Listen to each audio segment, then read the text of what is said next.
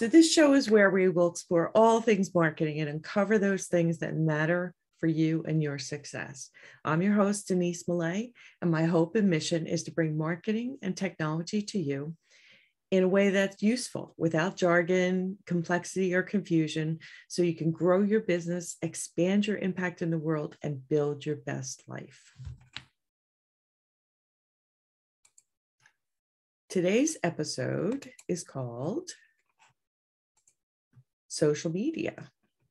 But before we dive in, I want to share a quote from you from someone who's who's an expert in their field. She works for HubSpot Marketing. Facebook is a discovery model platform. Its primary goal is to make the audience happy. You get ROI or return on investment if you create quality content for your audience. And that's from Kelly Hendrickson at HubSpot Marketing. So, why did I share that with you? Well, because social media is an exchange, it is a community building activity. Okay. It, you get what you put into it, you get out what you put into it. Okay. It's very difficult to expect results. If you create an account, you send out a post every holiday or special day on your calendar, like National Waffle Day or whatever, and if you don't engage with other people and you don't comment and and truly have conversations then you don't engage right? And not only are other people not really going to recognize who you are and know anything about you but the platform itself to benefit shares the information of the most active people and the most people that are the most engaged right so if you don't engage and create your own account and statistics that the program are going to recognize, then it won't share your posts as much. And as you start out, they only share your posts with a certain percentage of the people that you're following or that are in your circle. So it's not like everybody sees everything that you put up there. So if you don't engage and get engagement from what you post, then people are less likely to see what you post in their news feed. Um, so I want you to understand this when we begin, and as you choose to launch yourself on this platform or to use this platform, that it's kind of the rules of the road. And if you really want to be successful, you're going to have to do a little bit more than just, you know, throw up an image on National Donut Day. Okay. So let's move on. So we're talking about Facebook. And our first place we're going to land is everybody says, Oh, do we have to? And I respond, It's just too big to ignore. There are 3.75 billion active social media users, 195 million Facebook visitors per day.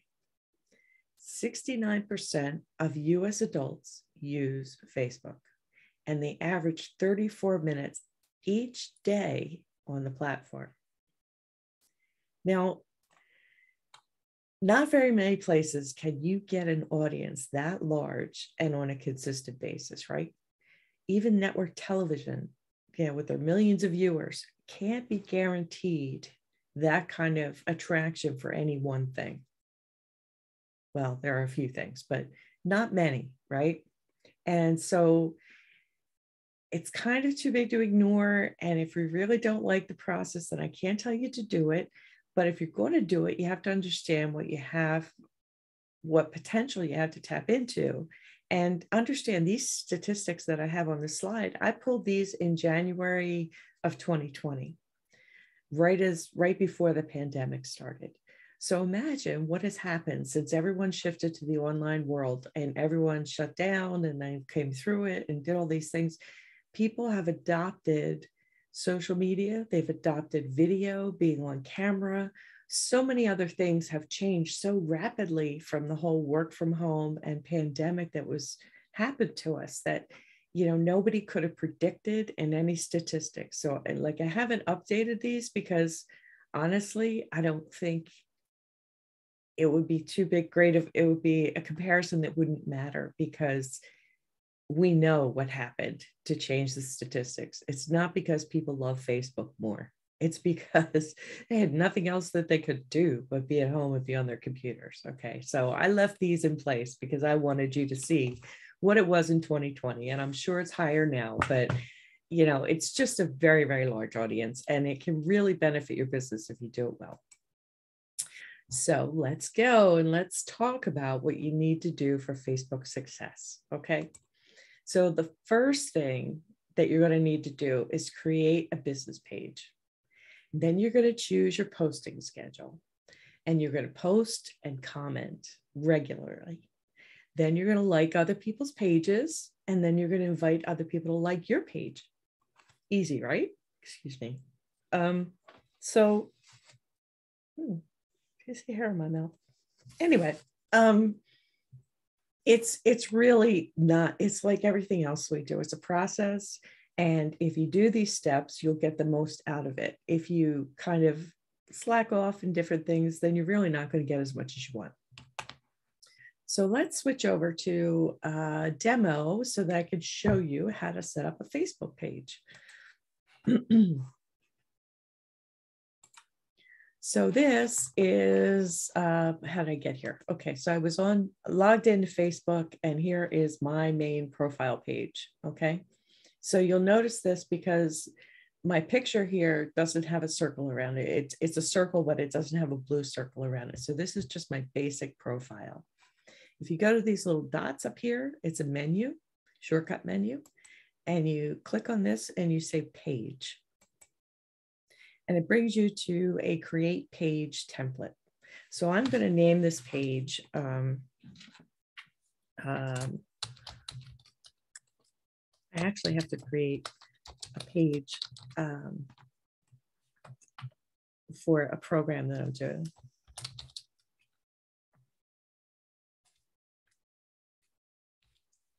All right, category. Now, you can choose three categories. These categories are used when people are searching on social media. So you want to pick something that's descriptive of your business. It's a little limited in your choices. So I'm going to go with uh, program. No, that doesn't fit. Uh, marketing.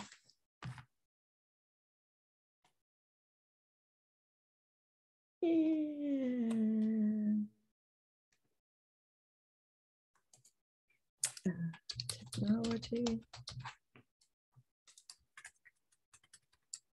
Definitely have a big sort of course.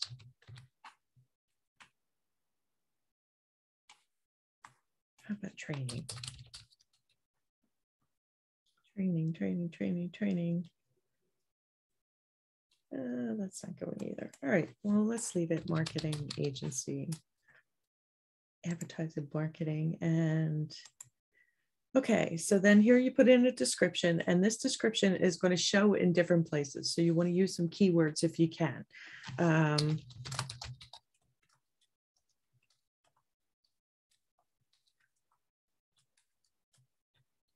I'm just going to do a short one right here. And then you click create page. And you can only do 255 characters in this short description, and it does get carried to other places. I'll come back later and edit this. Create page.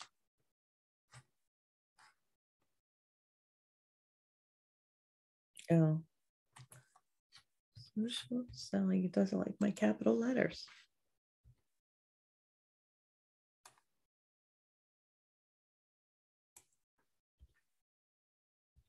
Okay, doesn't like my capital letters. How about that?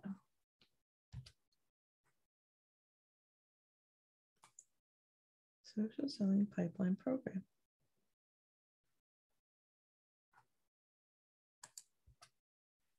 See, lovely. Okay, so now it's creating it, I hope. See what happens. Spin, spin, spin. Now it's created. Now you can add images or go to your page to add more details. Okay, so here we are in it's going to guide you through what you have to do. Okay, so I'm going to add a profile picture, which is picture of me that I have. I'm going to use this one just because it's the first one I've got. And then you can add a cover program, cover, um, I'm just going to pick this one because it's what I've got out there right now. And it has nothing to do with the program, right? Okay, now it's going to tell you once you click save on these, right? See what it did? It's it put it in there. It's going to guide you through the things you need to do next. Now, I don't have a WhatsApp account. I don't use WhatsApp, so I'm going to close this out and skip this, okay? And I want to leave that. Now, see how it says set up your page for success. There's five of 13 steps completed. So we're going to roll through here and do these. Now, what I want to show you is, you know how I added that picture to this page? Well, guess what? It told the entire world or anybody that's connected with me that I just updated a page with a new picture. And I don't know about you, but I don't really need to broadcast to the rest of the world every single thing that I do on my Facebook page, right? So what I'm going to do is I'm going to go to the settings for this page right here and come down to page updates. And it automatically has a check that it's going to publish post when the info is updated on this page. And what I'm going to do is uncheck that and save the changes.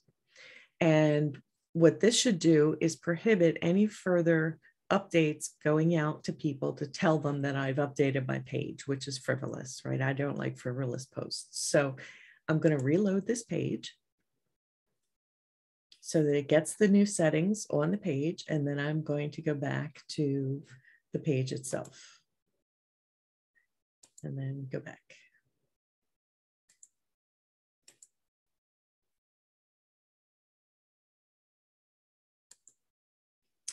Okay, you're not going back. I guess I have to go to the page itself then. Here's my new new page and you click on it.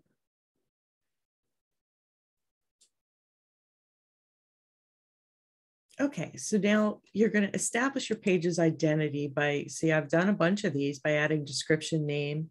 If you open these up, it wants you to add a website, a location, if you have it, hours, phone number, messaging, action buttons if you want a button on the page so people can reach out and contact you when they go to your page. And then it wants you to invite 10 friends of yours to come and see the page or like the page so that you get some traction and then create a welcome post. It's really not complex, but you've now created an entity on Facebook for your business. Okay. And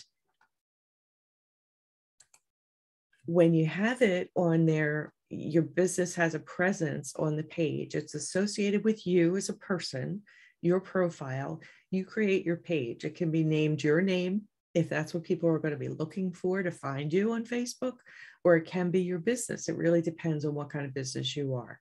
Um, I have my main business named my name because my company is an overarching company and I really wasn't using that name when I started. So I just made my page my name. And a lot of people do that.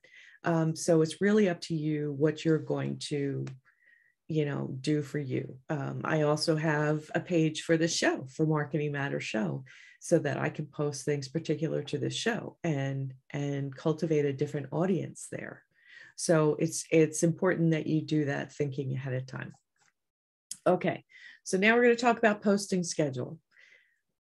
Everybody has an opinion on this. Everybody's every day you have to post. Uh, every Monday, Wednesday, Friday you have to post. And Tuesdays and Thursdays are the best between 11 and 1. There are so many theories and opinions out there about what's the best way to do this. Okay. I will say that the most effective thing you can do and the biggest favor you can give your business is to pick a schedule that fits for what you're doing right now and truly analyze how much time you have and only commit to do that and do it consistently. Put it in your calendar to have time to create the posts and the graphics and whatever else is needed and a little extra time for commenting and follow up and messaging. Okay. Because this is going to fall into uh, promoting something in marketing that happens. It's called the leaky bucket. You know, there's a theory about this leaky bucket that your business is a bucket and every bucket has a little leak in it, at least the old metal ones used to, right? And so there's a certain amount that's going to trickle out over time, and that you your marketing has to continue to fill the bucket all the time. Well, if you set up a schedule, here I'm, I'm getting to my point. This isn't natural attrition that's happening in your business. This is creating connections and then people not getting a response and losing an opportunity kind of thing that happens to your business. So there are so many things you have to do with your time. And I get that because I've got it too. My calendar's busting and I'm not great at it all the time, but I try to only bite off what I can really do at a certain amount of time. And that's what I'm going to ask you to seriously consider. Because if you go and say, I'm going to post every Monday, Wednesday, and Friday, and you only post on Mondays and you lose steam and you pick up again on Monday again, well, you don't know what your your results were on Monday for the next Monday to know whether your text worked, whether anybody talked about it. If they did make a comment a week ago, well, you didn't see it, right? Because you were too busy to look at it. Gosh, if somebody had messaged you and said, Hey, this looks interesting, um, get back to me, you could have missed that too, right? So you're creating a hole in your own bucket by doing that, by by setting something up that's not realistic. So I'm going to ask you to be very realistic and consistent with whatever you do. That's the posting schedule. So now go along your schedule and post and comment regularly. So now let's go back and take a look at what it's like to create a post. So there are two ways to create a post. you can create a post right here in Facebook, right? Or you can use Creator Studio. And Creator Studio is the piece of software that will let you create posts ahead of time and schedule them. And I have to say, it's it's really the way that I survive Facebook is by scheduling things ahead of time.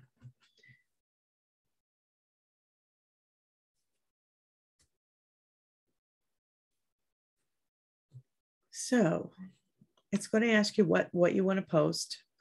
First thing that you want to do is you want to put in your website address.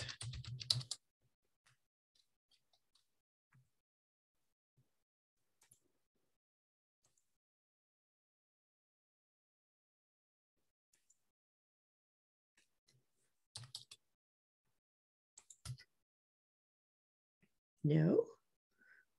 Okay, so it's loading a preview from my website that pulls some text and verbiage off my website. So that's a good thing because this also might ensure that you might get some uh, clickability on your photo that you add later. So leave that there for a second and let's go pick a photo. So I'm going to pick this photo because it's the first one that was there. Okay. Now you see it's giving you a preview over the side what it's going to look like. Now I'm going to go in and put in my simple text. Don't overdo it. People are not reading, they're skimming. So I usually put in, do you want to scale your business?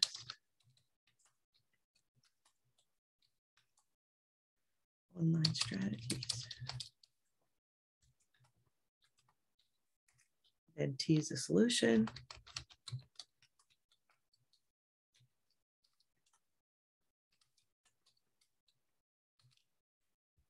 And then a call to action. Save your seat. And I actually will use this link.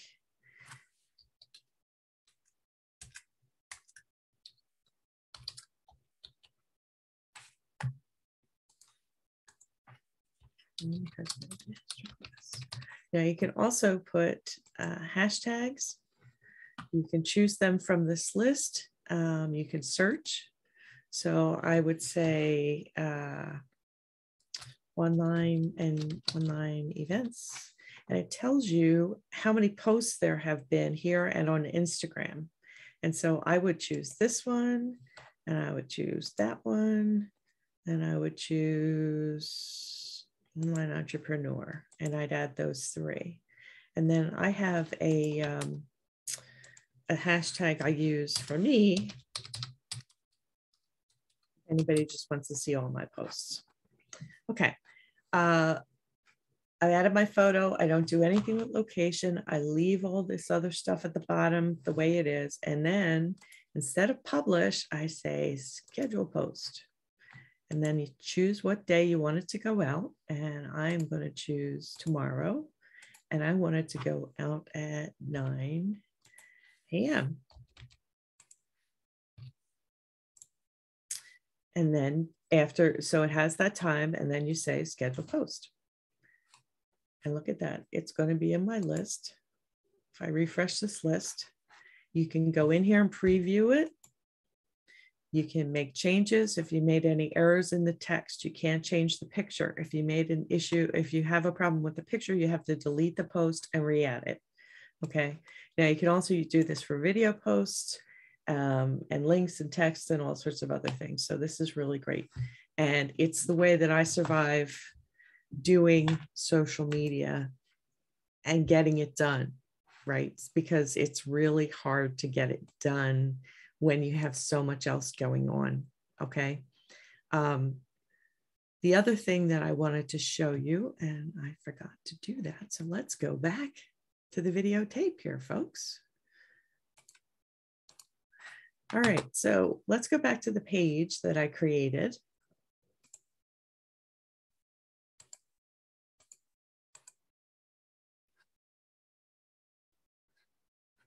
Now, when you want to invite people to your page, right?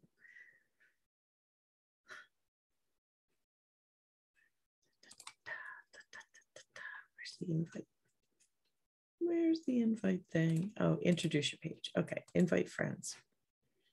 This is going to show you everybody who is your current friends on Facebook. This is family, this is friends, this is business on any page that you have. So, you know, I have quite a few friends, not that many, but a few. And so you would go through this list and choose who you want to see your new page, and they will get an invitation to, and then you say send invites. Okay. Now you can also click on this and it'll send up an invite to the Facebook Messenger program. But if you do that, you can only send 50 at a time. Um, it's very helpful to do this first round of invites this way and it makes it so much easier so i highly recommend using that and um, yeah so that would be very helpful for you okay so now let's go to engagement so let's talk about what you need to do to get engagement on this on this platform okay commenting on posts. Now, I'm not saying clicking on the little like hand button with the thumb up isn't good. It's good because anything that you do on someone else's post gives them credibility. Okay. But what I would say is find the people that are like minded, that you resonate with, that are in groups that you're in, join groups and participate, and friends that you have share their posts to other places. You know just click on share and and put it on your page or share it to the news feed actually make a you know five ten word comment on it it gives them an extra statistic an extra piece of social proof.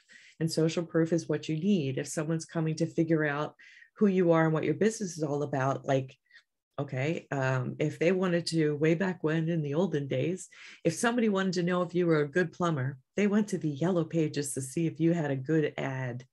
And, it, and if you spent money on that ad it looked like you were official and professional right um, well this is similar if someone's looking up your business they're going to look on your website if they're trying to decide whether to work with you or whether you're legit they might come to facebook and say who is this person and if you don't have any followers and you don't have any comments, you don't have any history of anything, well, then that's not going to help, right? So you want to have people attracted to your page. You want to like other people's stuff and have them like your stuff. And I said earlier, we weren't going to chase likes and shares that don't get results. The ones that get results, we're going to chase. Okay. So you're going to engage with things that matter to you that are true and not somebody's dog who's adorable, which you can comment on. But I also think that it's important that you find like minded business people that you share something with and you start exchanges with them. And you know, and monitor that and keep the conversation going. Like their stuff, they're going to like your stuff because they're going to see your stuff if you see their stuff, right? Stuff. Um, be very official, professional here. The other thing that you want to do is attend events. There are online events that people put on on Facebook. They're called summits. They're called you know, day long conferences, they do all sorts of things. If you attend those, then you get exposed to other people in your field who are also active on the platform. And by association, you can then find other people that work with them and their audiences might see your things if you connect with them or connect with their audience. So that's kind of how you build the tree and the branches, right? Is you start going to events and think things. The other thing you want to do is Facebook Live videos, which I've mentioned before. Video is very, very popular right now. And um, obviously, for obvious reasons, everybody's a lot more comfortable with it. So you could schedule a live video for one or two minutes and have it broadcast to your page and, and drop a tip or a strategy or something important that you learned that day or whatever. Or you could have an interview with somebody that you stream live to Facebook. Facebook loves these videos. They share them six times more, especially when you create them on their platform. Okay. And then you can reuse them for, you know, reshare them later on or pass them on if, hey, you, in case you missed this tip or whatever if you do a larger session, you can actually put it to YouTube. So it's great. It's really great. So unfortunately, we're going to miss out on our free free tool tonight, but I'll do it real fast. So I have a free gift for you today. It's called Five Free Online Tools That'll Change Your Business. And it has the details about the free tool I was going to do tonight. Um, so if you go to mmediagroupllc.com slash free dash gift, you can download my thing and you can see the whole delivery process that I use to deliver my free gift. Um, I'll give you a minute to take a note of the address, take a screenshot for later. I work with people to get their technology set up and I help automate their marketing activities. If you'd like more information, please visit my website at mmediagroupllc.com for more information and reach out through the contact page or via email on the website if you have any questions my free tool tonight is called Remove Background. And rather than giving you a demo, since it's in the free gift, go to www.remove.bg. It's a free service. So you upload an image, like say you had a picture of yourself that uh, had a background like this in it and you wanted to reuse that picture for advertising or somewhere else or for a web page, but you don't want this background, right? It doesn't match what else you're doing. So if you go to remove background and you upload the picture, it'll strip everything out of the background and just leave you you. And you can download that and use it somewhere else. Now, the free part, you can get a picture that's uh, 400 by 400 done. So it's not good for huge pictures or high resolution pictures, but it's good for just the small ones that you need for profile pictures and uploads to little circles when you're on pages on websites. So it's really great. And you can use it for that. So it's really fantastic. I'm sure you're going to love it. Um, so check out the free gift and it will be so helpful for you. I know you will get use out of it. So thank you so much for joining me from for this episode of Marketing Matters. I know how precious your time is, and my hopes you came away with some nuggets you can apply to your business or some things that made you think. My aim is to provide clear and useful info for you so that you can have a thriving business, amazing relationships with your customers and clients. And as always, if you have any questions, you could drop a post on my Facebook show page, Marketing Matters, or you can go to my website and leave me contact information or contact form or email me from there. And join me here next week for our next episode where we're going to continue on in social media and talk about LinkedIn. So thanks very much for your time. Bye.